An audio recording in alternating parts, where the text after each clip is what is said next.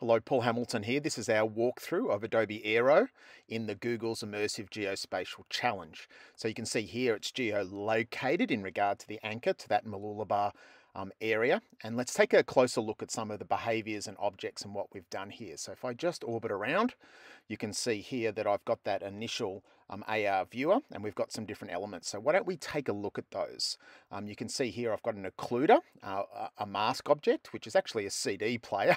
But as you're looking through, you can only see um, the digital whales and the artistic whales at the back or through the, the kind of looking glass um, concept that I've built down there. If you look at the other side, you can see that the whales are there, but I've just got a, actually a CD player here um, that was a good size for my occluder here. So if we look at that, I've basically just gone to object and used that as a mask. If I turn it off, you can see it's my CD um, CD-ROM.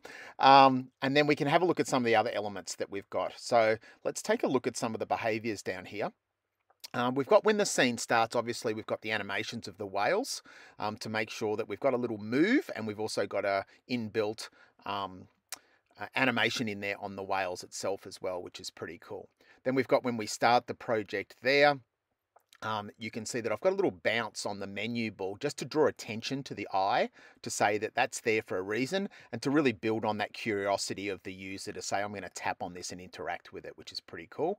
And then we've got our first little menu button that pops up here. That's actually an animated GIF with a removed background. I've tried to be clever with the popping up out of the top of it so that it makes use of depth in regard to 2D images and animations. So we've got all those hidden. So all those menu systems are hidden. And what we've got is a beautiful, um, if I zoom out a little bit here, when we've got a tap behavior on the ball itself, you'll see that they actually come up one at a time in a beautiful kind of sequential fade in kind of aspect. So you can see here when I tap, it's actually going to bring in left to right each of those menu items. And so the behavior, you can see there, the behavior is just a simple hide on, on begin or on start of the project and then a tap on the ball will reveal those. And I've got a nice kind of fade in, fade out on each of those. You can see there it goes for about two seconds each and it's nice and sequential.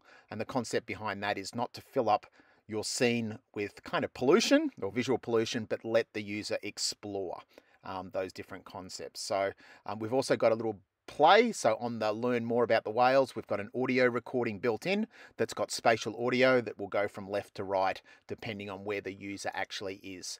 We've also got an open URL tap behavior there for the feedback form, which is a really important way of collecting data from the users themselves as they go through when you looked at the demo.